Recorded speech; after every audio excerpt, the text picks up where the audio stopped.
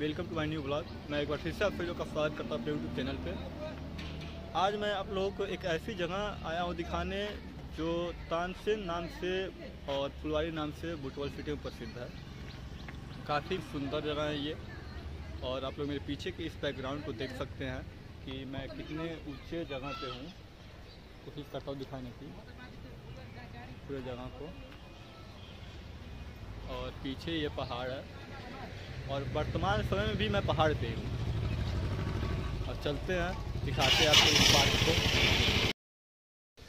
तो guys finally हम लोग अंदर पहुँच चुके हैं और चलिए दिखाते हैं आगे चल के। एक बार मैं आप लोगों को पीछे से नज़ारा दिखा देता हूँ जगह का। देख सकते हैं। यही तानसेन पार्क और फुलवारी के नाम से प्रसिद्ध है बुटवल में। चलते हैं आगे, दिखाते हैं।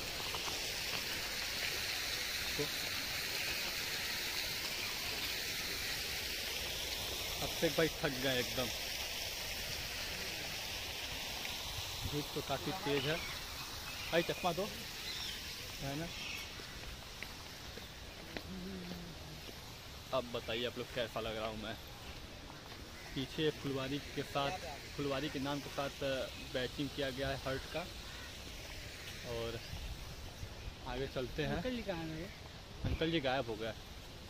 दो अंकल मिल गए थे अपने क्षेत्र के नौतनवा साइड के, और वो लोग मेरे साथ सिद्ध बाबा के मंदिर मतलब बुटवल में कई जगह घूमे, और फुलवारी आते आते गायब हो गए लोग।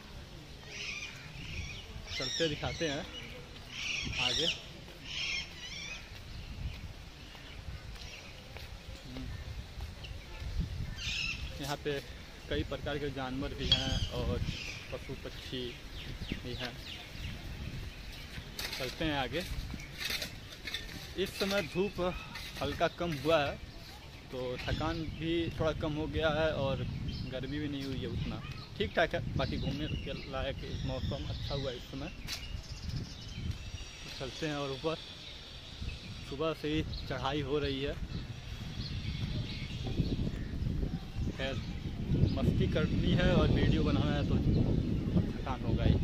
हमसे भाई। यहाँ पर पीछे भी देख सकते हैं। यही जगह है वो फुलवारी के नाम से जो प्रसिद्ध है।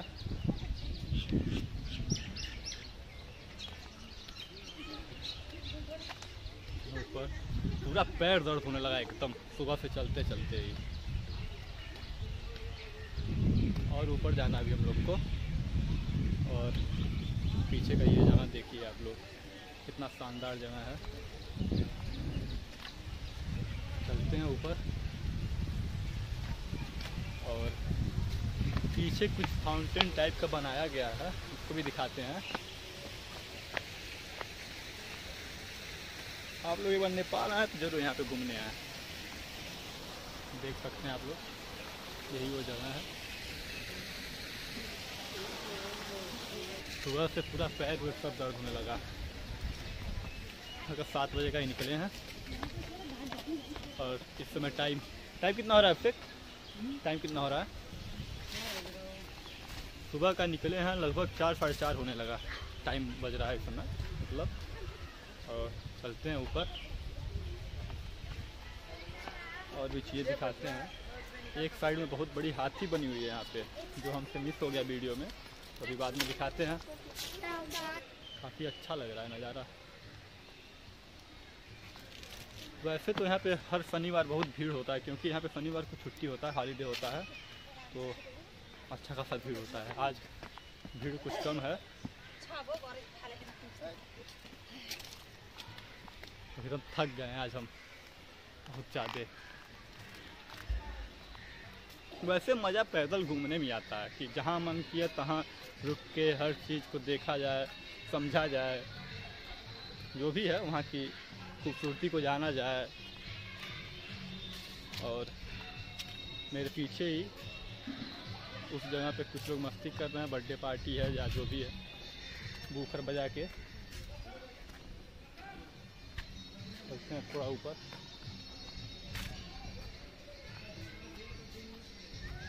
इधर चिड़िया घर भी है, लेकिन किधर है, देखना पड़ेगा। चलते उधर भी चलते हैं। आओ इधर चला जाए चलते हैं ऊपर। अभी देखिए, गेम खेलना है लोग वहाँ पे कोई सॉन्ग बजा के। चलते हैं और ऊपर। चलते चलते हालत ख़राब हो गया एकदम। हैं दूसरे साइड में। बहुत थकान हो गया है। भाई, एकदम मेरे थक गए हैं। आप पार्टी भी कर सकते हैं। ला के मटन चिकन बना के खुद खा सकते है।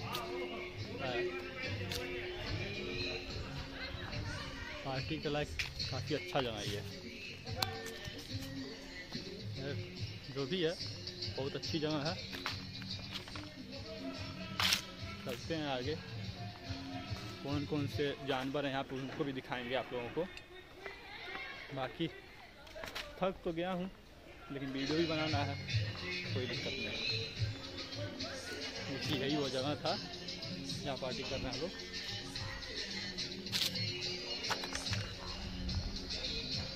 चलते हैं थोड़ा और आगे।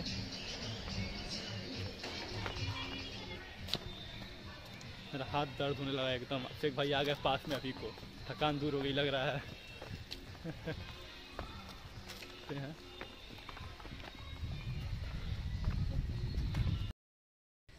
तो आप लोग देख सकते हैं ये लील गाय है।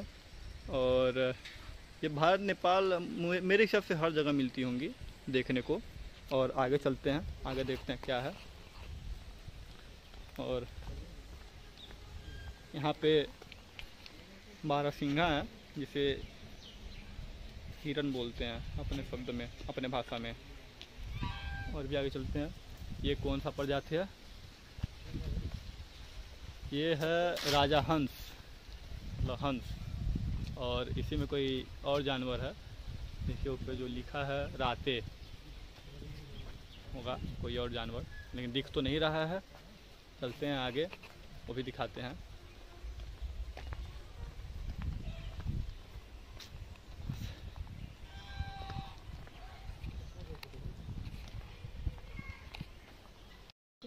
आप लोग देख सकते हैं, यहाँ पे कछुआ और मुर्गी और तोता। हैं? सही से दिख नहीं रहे होंगे सब क्योंकि अब दो जाली हो जा रहा है। एक जाली मेरे कैमरे के पास एक जाली के अंदर वो सब हैं। तो इसकी वजह से सही से दिख नहीं रहे होंगे सब। और आगे चलते हैं।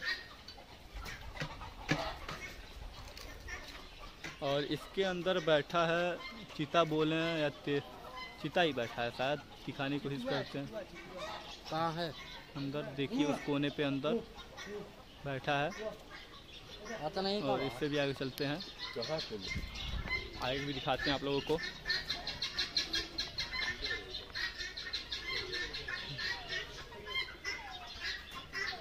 और यहाँ पे तो भालू बैठा है। भालू। मुझे एक चीज़ बहुत गलत लगा यहाँ का बाकी और कुछ नहीं। आप लोग देख सकते हैं कि ये रॉट व्हीलर है। और इस जानवर को यहाँ पे देख के बहुत दुख हुआ मुझे। क्योंकि मैं भी रॉट व्हीलर ही पाला हूँ। मेरे घर पे रॉट व्हीलर ही है। और देख सकते हैं, ये चिकन खा रहा है, तला हुआ। इसे यहाँ पे नहीं होना चाहिए, क्योंकि अगर अच्छे से परवरिश परवरिश किया जाए तो उतना खतरनाक होगा भी नहीं। और इसके अंदर भी कई प्रकार की पक्षियाँ हैं, जो मैं आपको बताता हूँ बोर्ड दिखाता हूँ।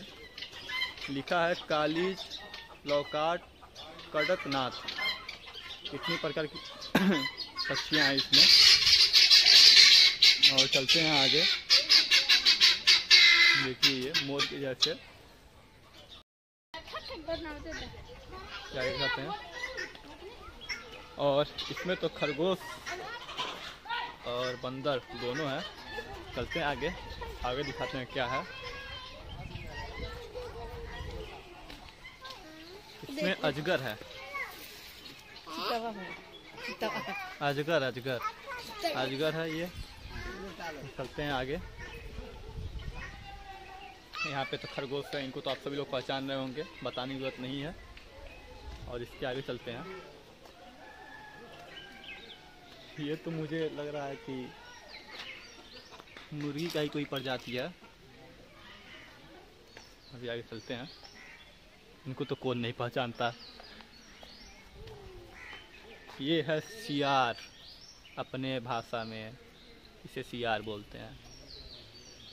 आगे चलते हैं।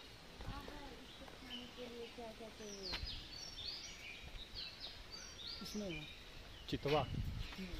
इसमें चितवा है मतलब आप लोग देख सकते हैं, चितवा। तो आगे।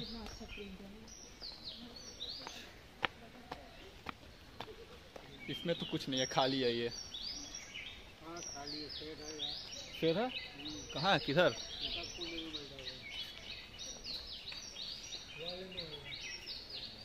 देखते हैं अगर होगा तो दिखेगा ज़रूर। अबे इसी में से उसी में जा रहा है दिख नहीं रहा मतलब अच्छा दोनों सेम ही है। हाँ बंदर। इसके ऊपर बंदर है। देख सकते हैं। और इसमें तो चूहे की कोई चाइनीज़ प्रजाति है। देख भी सकते हैं जो खरगोश के जैसे लग रहा है। और इसे गीली गिनी पिग कहते हैं। चूहे का ही कोई प्रजाति है जिसे गिनी पिग कहते हैं। और पीछे सारे स्टैचू हैं हाथी के गेंडा के। और एक बार मैं आप सभी लोग को घुमा के जगह दिखा भी देता हूँ।